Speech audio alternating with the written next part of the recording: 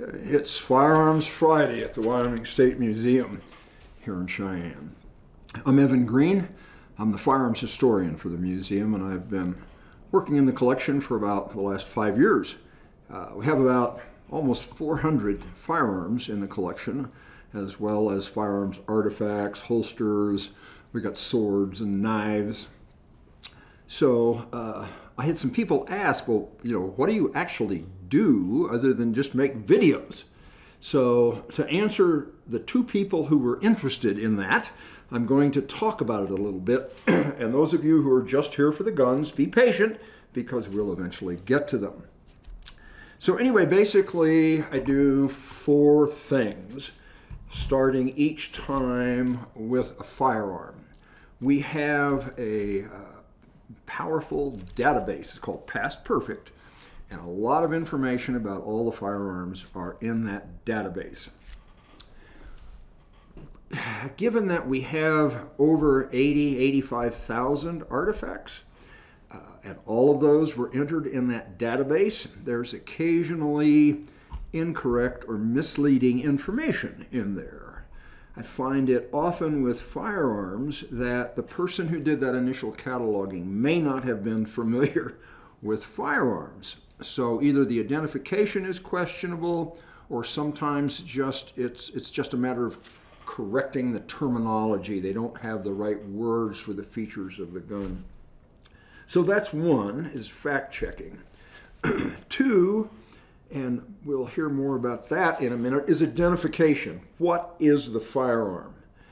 now, anything made by your traditional makers in the United States, Remington, Winchester, Marlin, Colt, um, they have serial numbers that you can use to establish uh, the year that it was manufactured. They often have the maker's name, the address, and the patent dates, and the model of the gun stamped somewhere on that firearm. So that's pretty simple. It gets difficult when we have something like this, where there are uh, only a few markings, none of which really identify what this is. So anyway, identification. The other is to insert into that database the history of a particular firearm. Say, for example, trapdoor infantry rifles. I have a cut and paste thing that will assist future people working in that database with here's the history of the Springfield trapdoor rifle. And the other thing, this maybe the fourth thing, is uh, I try to authenticate or dismiss the stories associated with those guns. And that's, that's perhaps the most difficult part of the job, and I can spend hours and hours, uh, days and days trying to do that. It's difficult to prove it's correct. It's difficult to disprove those stories. And we'll talk about that in a little bit uh, in a next video because I've got some firearms where the stories really don't match what we know about the gun. So, okay, this is one. I looked at this firearm first in 2019, and I've learned a lot in the last four or five years. But at the time, I went, What in the world is this? I have no idea. There's no markings that I can see. There's some numbers and some letters and a squiggle here on the lock plate. I have no idea what this is. so when I went through again and pulled this out, knowing a little bit more, I was able to identify that proof mark as coming from Austria. So it Turns out that this is an Austrian-made Lorenz musket. Now, it has been modified because it would have originally had a full-length forearm uh, that reached to the end of the barrel. But once I knew that it was Austrian, and because it's percussion, we know that it falls in a fairly narrow time range. The percussion ignition system didn't replace the flintlock until late 1820s, 1830s. So that gives a time reference. Well, again, it turns out this is a uh, Austrian Lorenz percussion uh, musket. And uh, how to get to the United States? Well, when the Civil War started, the United States, the Union, and the Confederacy were short of firearms. So the Union imported 220,000 of these Austrian Lorenz muskets, and the Confederates imported 100,000 of those muskets. And we know this is a Confederate musket because it has a fixed sight. The Union version had an adjustable rear sight. And uh, so I'm just probably 95% confident that in its original form, this rifled musket probably saw action on the Confederate side in the American Civil War. So I think that's pretty cool. So that's one I tracked down. I'm pretty proud of figuring that one out.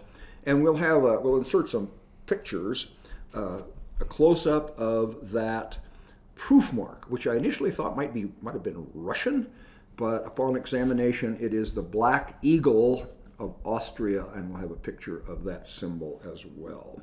So I'm going to set this one aside for the moment and grab another one. Okay, this is another percussion musket, and I have no idea what it is. Um, there's no markings. It's so rusted and corroded that I can't find any of the markings. In its general configuration, it resembles the contract muskets that were made by several different manufacturers over the course of the Civil War, primarily made for the Union.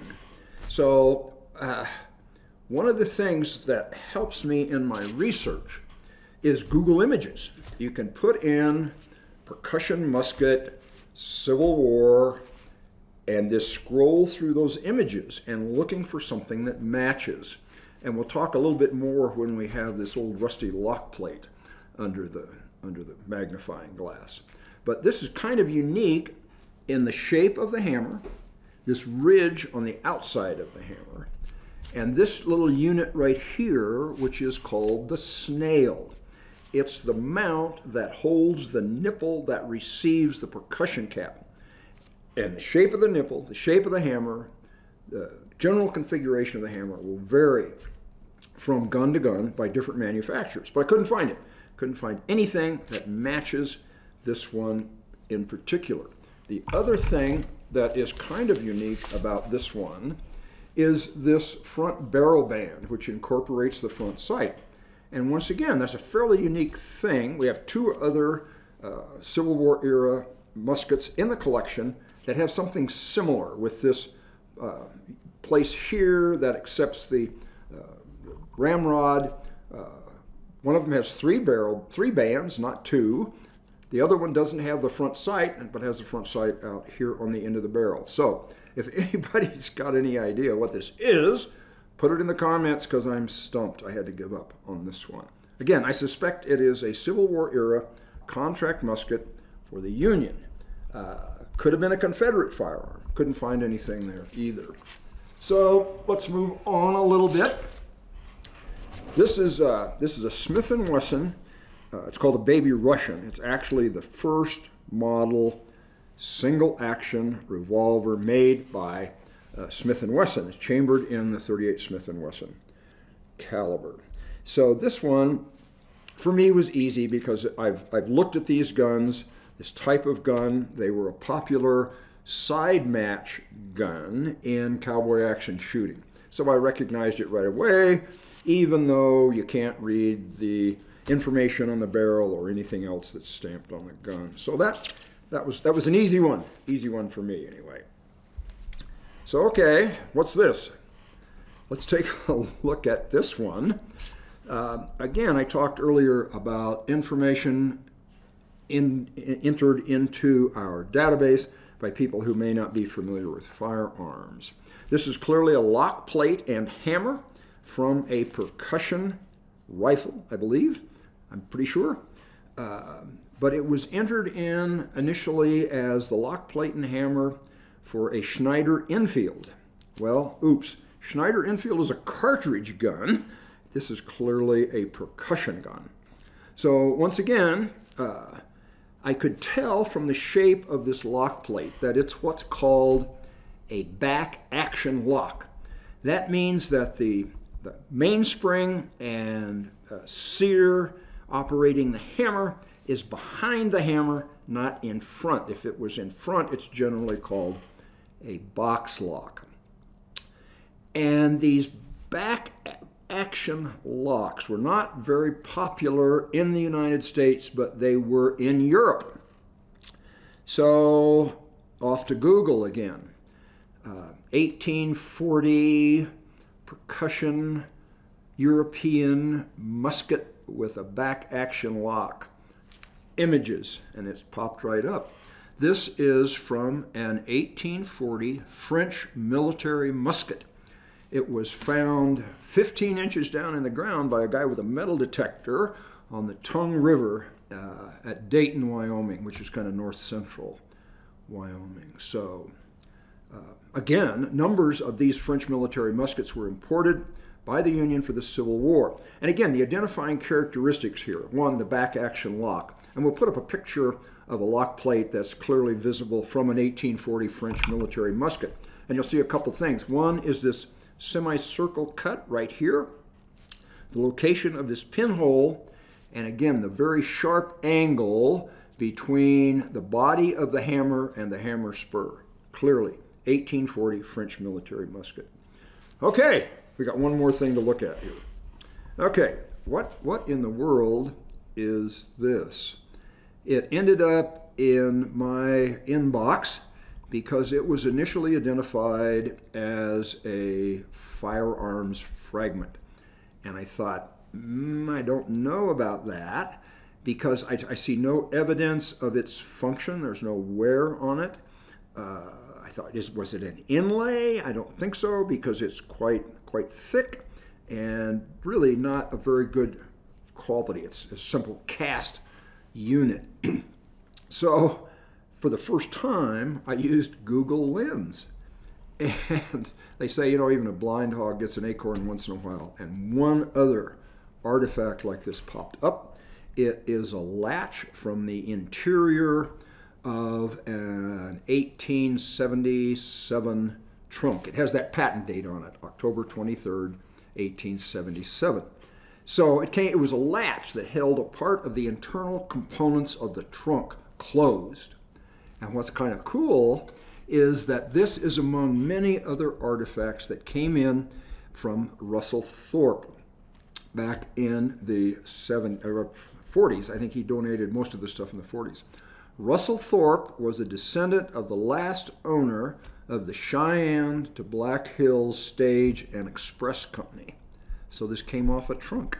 Is it possible that it fell off a trunk en route to either Black Hills to Cheyenne or Cheyenne to Black Hills.